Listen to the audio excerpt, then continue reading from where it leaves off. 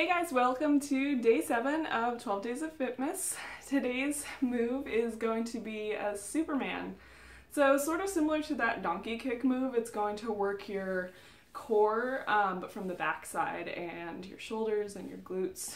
Um, it's a great move, pretty easy. So um, today you will start with uh, one minute of squats, one minute of um, push-ups, one minute of the C curve with the arm opening, one minute of donkey kicks with the arm raise, one minute of inchworms, one minute of the lunge with the leg lift, 30 seconds on each side, or a minute of each with that workout if you want a little extra burn.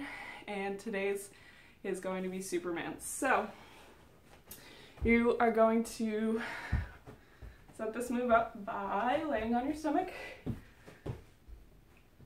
and as I get more and more pregnant, this one ain't gonna happen, obviously. Okay, so um, from here, you're going to, let me sit up for a minute. So um, head can be just looking down. You wanna keep your spine in a straight line. Don't try and look up, it's just gonna strain your neck. Legs should be straight out behind you, and I like to point my toes. Arms are gonna reach forward um, straight out in front of you. Basically what you're doing is contracting your um, core muscles lifting up your legs and your arms at the same time and holding for a second and then dropping back down. So let me show it to you. Head down, looking straight down, lift and drop. Lift, drop.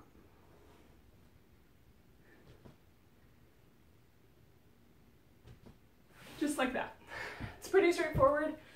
Again, make sure you're really um, you know, holding that contraction, pushing your legs out and your arms forward to um, really contract all those muscles. Um, if you want to, you know, work it a little bit harder, hold up for longer. You know, hold up maybe for five seconds and then drop back down um, to create some more tension with that move. um, okay, any questions, you guys? Um, feel free to comment. As always, I'm happy to answer any questions. Um, something doesn't make sense or I'm just babbling and, you know, misspoke, which is certainly possible. um, feel free to ask me to clarify. Okay, so we are on day seven. So start with one minute of squats, one minute of push-ups, one minute of the C curve with the arm opening, one minute of donkey kicks with the arm raise, one minute of inchworms, one minute of, oh crap, lunging with the leg lift. I got my notes down here today.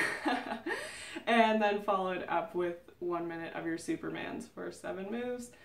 Seven minutes roughly, but obviously you're taking little breaks in between. Um, but don't take too long of a break, you know? Give yourself 30 seconds, but we're not like you know, running super fast here. Yeah, if maybe you did jump squats to start with, then you might have need a little bit longer to recover or something like that. But um, don't take too long of a break. The idea is to, you know, keep the heart pumping a little bit and keep the blood flowing. So, yeah.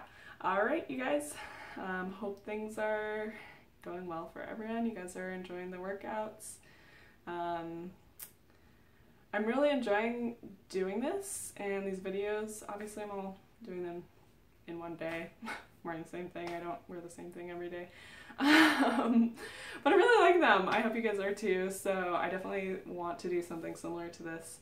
Um, in another couple months, I run a free group every month, so I'll probably do another one down the line. So if you guys have any ideas for um, some other workouts that you might want to throw in there, um, let me know. All right, see you tomorrow.